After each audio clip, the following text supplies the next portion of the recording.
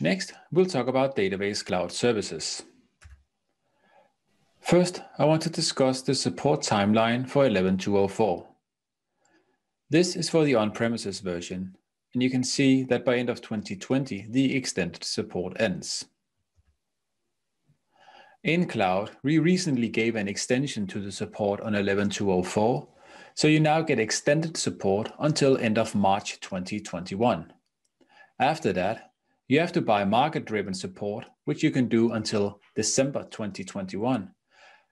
But after that period, you can no longer run 11204 databases in OCI, so you better start planning your upgrades. Let's talk a little about the various cloud services that you can use, and we'll start with the virtual machines. Now this is our entry-level offering, and it comes with a pre-created container database. You're not allowed to drop or change the container database, but you can create as many PDBs as you want. The OS, the grid infrastructure, and the database can't be upgraded. So if you need to upgrade the database, it has to be moved on to a new VMDB system, and there you can conduct the upgrade. Next is the bare metal. This is our mid-level offering, and you can create as many CDBs as you want. In those CDBs, you can put as many pluggable databases as you want. You cannot upgrade the OS or the GI, so if your grid infrastructure doesn't support a database version that you would like to use, you have to order a new bare metal system and move the database. And you should also be aware that all the container databases running on the same bare metal system must be of the same database edition. And finally, we have the Exadata. Now this cloud offering runs on the world's best database machine, and you can have as many CDBs as you want, and you can create as many PDBs as you want. So this is a really flexible option. If you're using VMs or bare metal systems, you should be aware of the database images functionality that was recently added to OCI. This allows you to bundle your Oracle Home with release updates and one-offs that matches your exact requirements. So let's see how you can do that. On the DB Systems page, click Database Software and create a new one. You give it a name.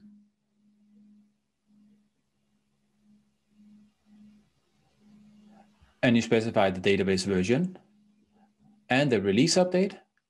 And you can specify as many one-off patches as you want. Then you create the image. And once it has been created, we can try to create a new DB system and use that image. Simply on the Database Information tab, change database image, choose a custom image, and you'll find the gold image that I just created. Now this is a really handy way of getting all your software bundled correctly, including all of your one-off patches.